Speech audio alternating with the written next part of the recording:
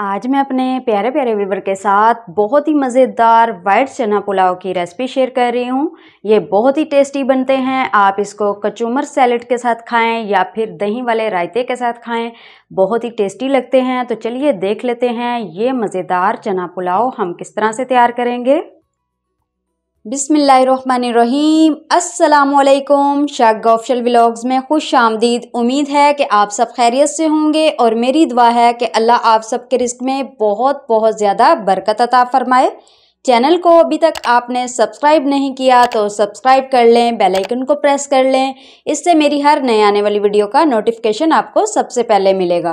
Video अच्छी लगे तो वीडियो को लाइक और शेयर करना ना भूलिएगा। तो चलिए वीडियो स्टार्ट करते हैं। सबसे पहले मैंने यहाँ पे लिया है एक बाउल। इसमें मैं ऐड करूँगी तीन कप चावल। ये तकरीबन तीन पाव चावल हैं। चावल मैंने यहाँ पे बासमती अच्छी क्वालिटी के लिए हैं। अब मैं इनको तीन से चार पानी अच्छे से धो लूँगी या फिर जब तक इसका पानी सफ़ेद नहीं हो जाता, तब तक इसको धोना है।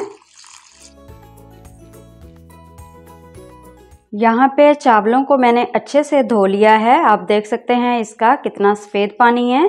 तो अब मैं इसको आधे घंटे के लिए साइड पे रख दूँगी।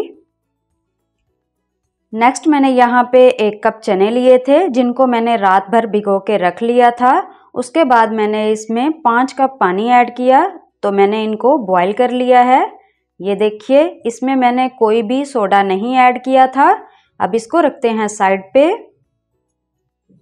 नेक्स्ट मैंने यहाँ पे चनों वाला ही पानी ले लिया है, जिसमें मैंने चनों को बॉईल किया था। ये भी मैं चना पुलाव में ऐड करूँगी। तो चलें, मज़ेदार ये चना पुलाव बनाना शुरू करते हैं। नेक्स्ट मैंने यहाँ पे कढ़ाई ली है। इसमें मैं ऐड करूँगी एक कप घी।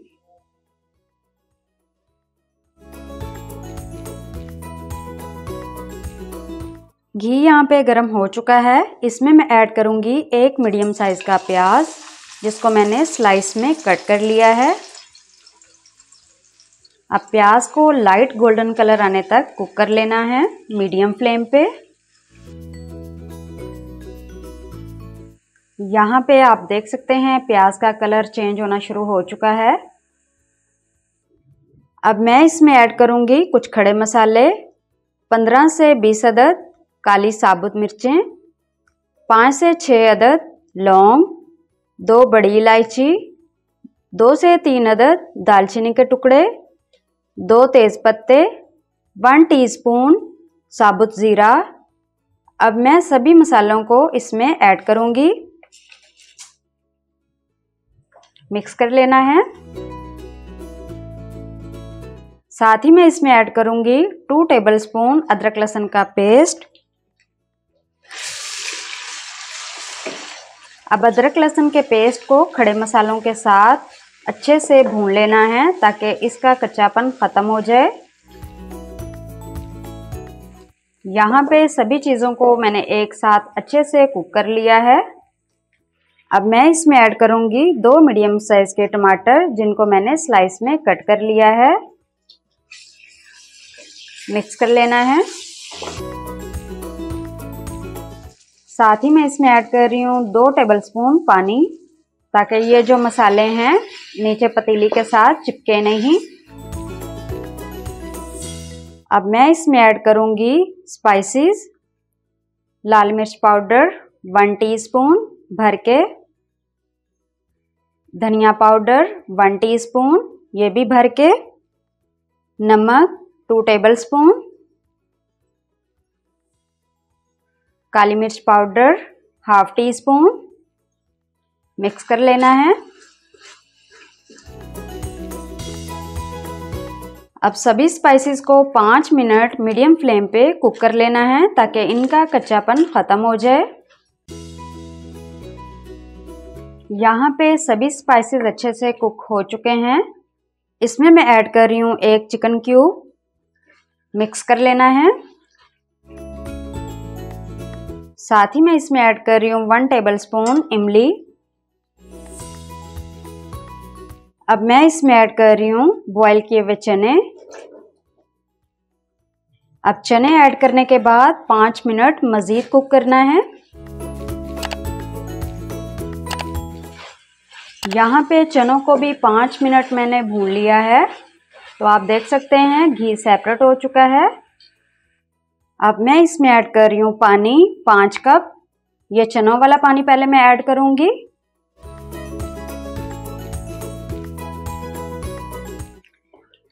तीन कप मैंने यहाँ पे चनों वाला पानी शामिल किया है और दो कप यहाँ पे मैंने सिंपल पानी ऐड किया है। तो यहाँ पे अगर आपको नमक कम लगे तो आप इसमें और ऐड कर सकते हैं। अब मैं इसमें ऐड करूँगी तीन से चार अदद सब्ज़ मिर्चें। अब मैं इसको कवर करके रख दूँगी। जब तक इसमें बॉयल नहीं आ जाता, आँच यहाँ पे मीडियम रखी हुई है मैंने।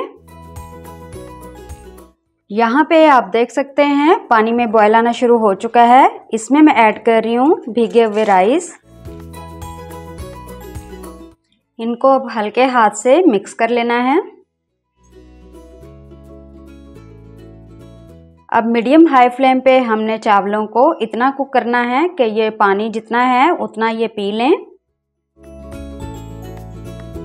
यहाँ पे आप चेक कर सकते हैं, अगर आपको नमक कम लगे तो आप इसमें और शामिल कर सकते हैं। जिस तरह से मैं कर रही हूँ। तो मैंने इसमें जितना नमक शामिल किया है, वो बिल्कुल ठीक है। आप देख सकते हैं, चावलों ने काफ़ी हद तक पानी उठा लिया है, यानी पी लिया है। अब मज़ीद थोड़ा सा मैं और पकाऊँगी। यहाँ पे आप देख सकते हैं, पानी चावलों ने जितना पीना था वो पी लिया है। अब इसमें बस थोड़ा थोड़ा पानी रह गया है। अब मैं इसको लगाऊँगी दम पे। एक दफ़ा इस तरह से अच्छे से मिक्स कर लेना है। और आँच मैं यहाँ पे बिल्कुल लो कर दूँगी। अब यहाँ पर मैंने ढक्कन के ऊपर रोटी वाला रुमाल रखा है। ये देखें, उससे मैंने अच्छे से कवर कर देना है, ताकि अच्छी सी चावलों में स्टीम आ जाए।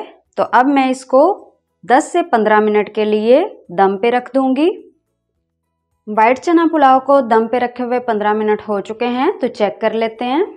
यहाँ पे आप चावलों को देख सकते हैं, माशाल्लाह से कितने ज़बरदस्त रेडी हुए हैं, एकदम अकेले अकेले ये देखिए पक भी गए हैं और बहुत ही ज़बरदस्त हमारे चावल रेडी हुए हैं। ये देखिए, माशाल्लाह। अब मैं इसको डिश आउट कर लेती हूँ।